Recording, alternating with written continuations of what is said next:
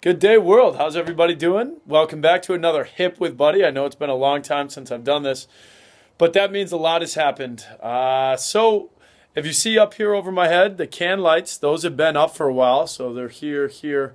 Um, but yesterday, I actually got to wiring them, so you can see the wire up there. Um, so they're all wired up except for that one because it needs a three wire that's going to come down and be right next to the door.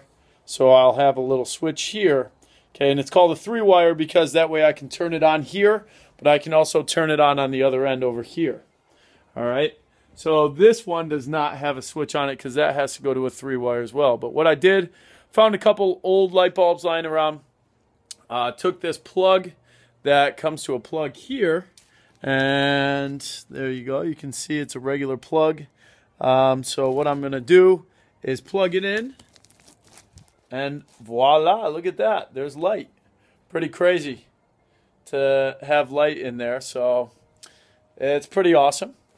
Another thing that I've done is I've furred. I know a lot of the other ones were about furring. Uh, furred out majority of the living room. My mom came out and helped me with some of that, so that was a huge help. So a lot of that furring is done, but there's still a lot that needs to be done. So the this is all furred out. The windows are all um, insulated there. I finally went and got my kitchen laid out. So this is what it should look like. I don't know if you guys can see that, um, but that's what it should look like. So wishful thinking. But I had to do that so that I could get the electric all hooked up. So I have the electric here. Gonna have the uh, the fridge here and an outlet.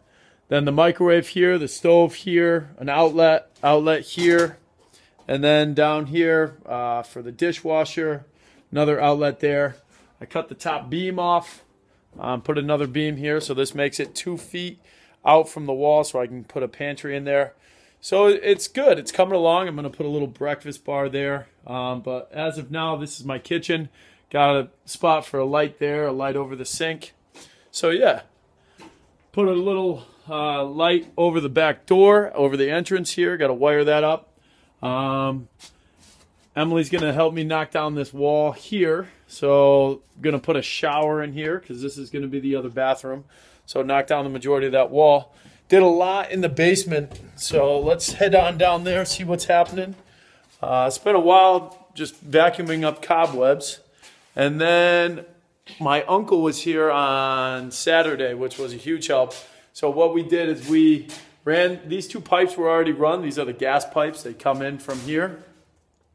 So we disconnected.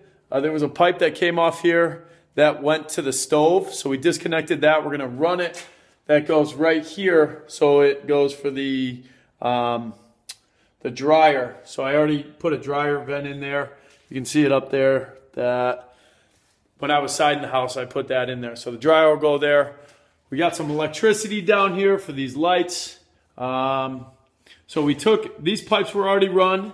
There was one here that went to the dryer. So we took that off, put a straight pipe on, and these both these pipes turned left here, and they went over to the furnace and the hot water heater. So what we did is we unhooked it from here, put this T-joint in it so that one line will hook to, will do the furnace and it will do the hot water heater on one gas line. And then we also put this other valve in here so that when I get the gas insert for the fireplace, that'll go there as well. So that was a lot of work. Um, hadn't really done it before, so I was very grateful to have my uncle here helping me. And then just went through and stapled up all the wires that have been run through the house already, which is a lot of them. As you can see, there's wires here, there's wires here, just going through, stapling all those wires and getting ready to start putting everything into the box. Um, it's kind of scary that a lot of the stuff in the house is already run and getting ready to go. But this, for the most part, you know, this is the basement. We got a little pile over there. I got to clean that up. Um, ran a new wire for the furnace. So this will be the wire for the furnace. Get that ready to go. And then, yeah, I have to get an electrical inspection here before winter comes because I got to get insulation in the walls. And in order to get insulation in the walls, have to have the electrical inspection because all the wires run through the wall. For the most part, um, you know, today just gonna, I've been running some more wire, so I'm running this three wire right now. Again, this three wire is for the dining room light. That way I have a switch here that I can turn it on and off, and then another switch by the door. So when I walk in the house, I can turn that light on there, and I can also turn it off when I go into the kitchen. So for the most part, things are coming along, uh, making progress. It's it's good to see. So hopefully, the house gets um, insulated before winter, get the heat turned on, and then who knows? We'll go from there.